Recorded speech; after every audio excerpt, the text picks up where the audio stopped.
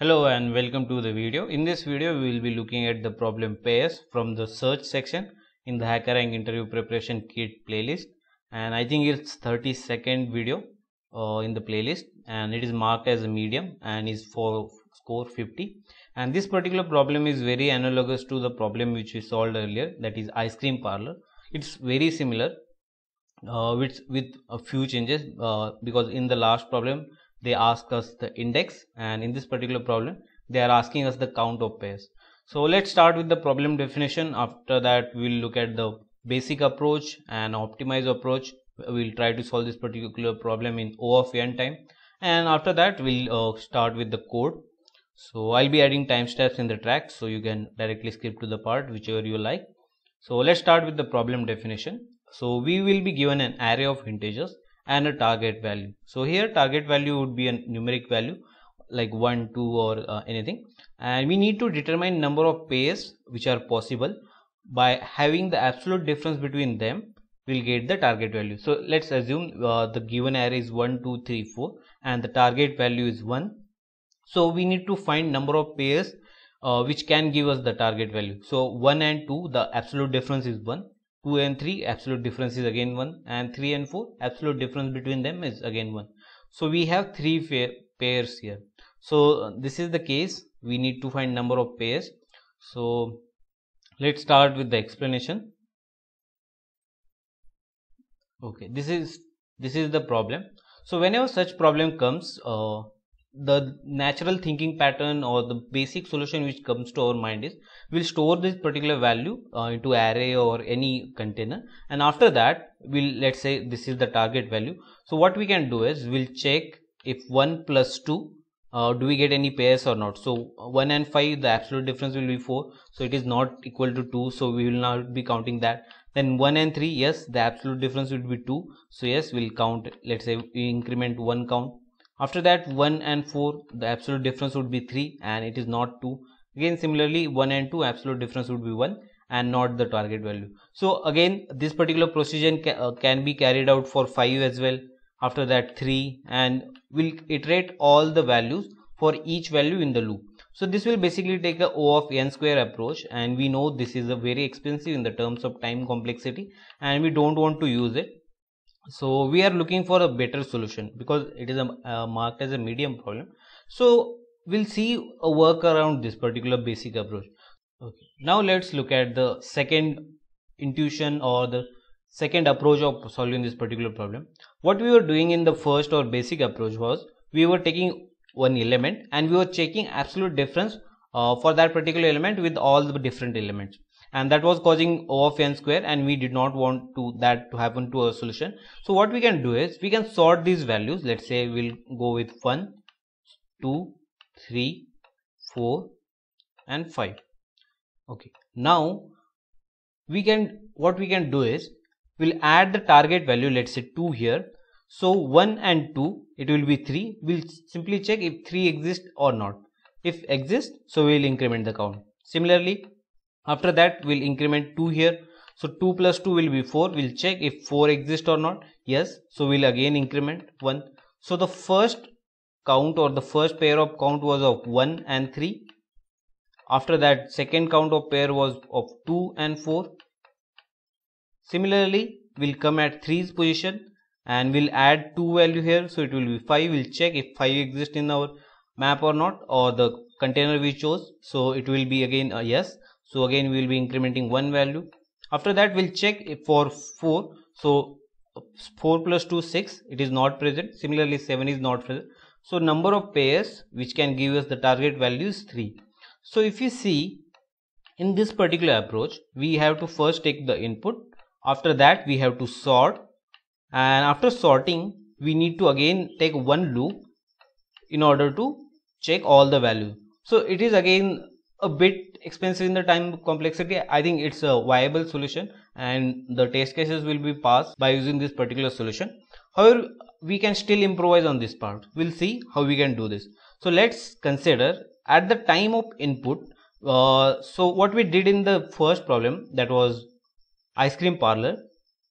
We check the values at the time of insertion only. So in this case what we'll do is we'll take a map. Let's consider this and in this particular map we'll check the previous value the absolute difference value exists or not. So what how will uh, have this happen is let's consider we are taking the input.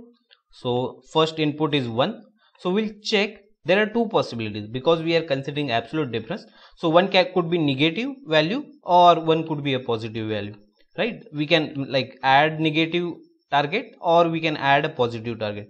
So for one which are the two values which can form a pair uh, that will give the value target 2 is one could be minus 1 and again one could be 3 so we'll check if these two values exist in our map or not. So for one uh, as of now we don't have any values in the map. So no. So we'll move ahead. So let's say 5 is uh, now at our disposal and is being taken as input. So in this particular case only one has been occurred or the stored in the map. So for 5 again there will be two values. Let's say 3 and 7 by doing this operation 3 and 5 we can get a target value or we can get by a 5 or 7 so we'll check if uh, 3 or 7 exist here. No. So in this case we'll move ahead. So 5 will be stored in the map. Okay.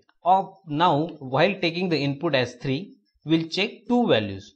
First minus the target value. So this will be 1 and plus the target value. So 2 is target value as of now. So this will be 5 and 1 so we'll check if 1 exists. Yes 1 exists. So one pair can be formed. That is 1 and 3 so yes we'll increment the count here. After that we'll check if 5 exists. Yes 5 exists. So 3 and 5 could be another pair. So we'll again increment one count. Okay. The, this is done for 3 after that 4 will be taken as an input. For 4 again there will be two values for which it can form pair. So one could be 2 another could be 6 right?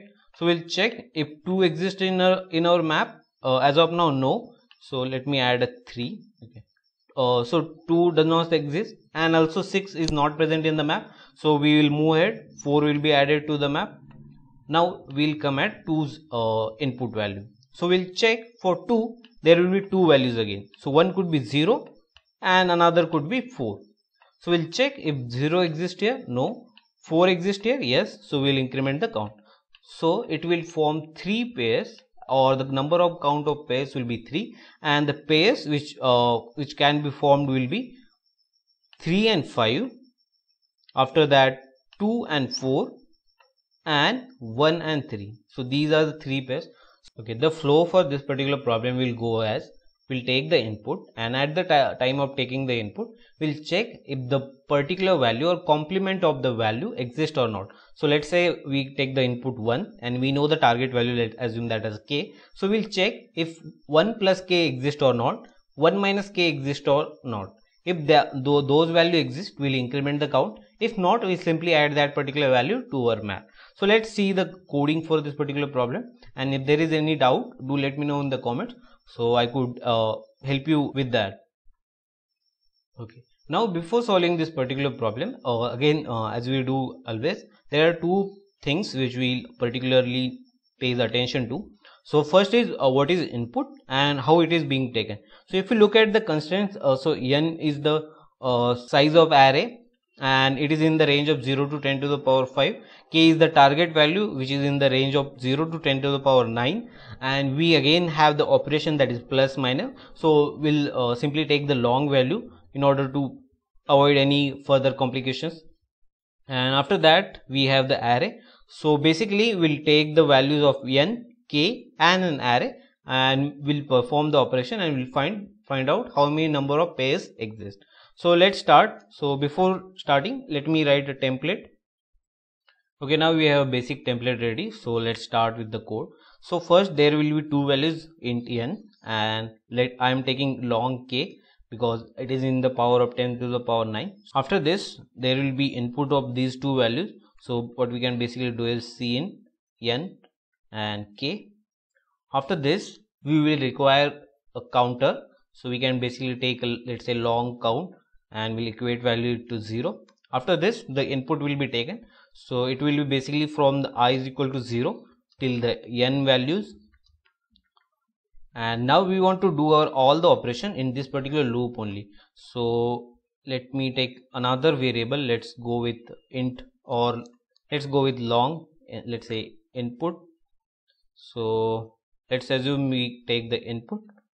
And after taking the input we want to check the target value that is plus k or minus k and that particular value exists or not so in, in that case, we will be using, rather than using an array, we will use unordered map because the lookup for that particular value is in the terms of O of 1 and it's very powerful or it is very efficient in the time terms of time complexity because you can look up for that particular value in O of 1 time. So uh, before using unordered map, let me declare that. So it will be unordered map. And for this we'll be taking let's say long long key and value pair will be in the terms of int. So we can basically add plus plus. So and the name will be map. Okay. So let me add this as a comment. Okay. We have taken the input. Now we want to check if the plus k and minus k value exist or not. So how we can do this is we'll simply take a if loop and for this we'll check the value that is input and plus k exist or not. So if this particular value exists, so it will return 1 and if this is 1, so if loop will be uh, valid and we will increment our count. Similarly, I want to check the value for input minus k value as well because there are two possibilities right because we are considering absolute difference so okay and these two values are done and let's say that particular value do not come across these two loops so that's sim very simple. We simply want to add the value of or the given input into our map and we'll simply add plus plus and we have counted all the counts for each uh, input and I think it's good to go. So I can simply write C out count. So let's check if it works or not. And I hope you got the logic. Compilation error. Okay input. So I miss semicolon okay, let's check again.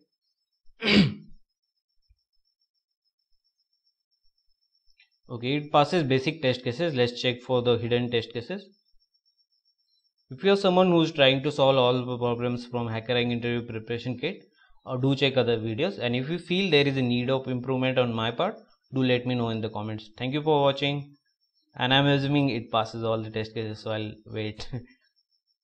Yes it passes. Thank you for watching. Have a great rest of the day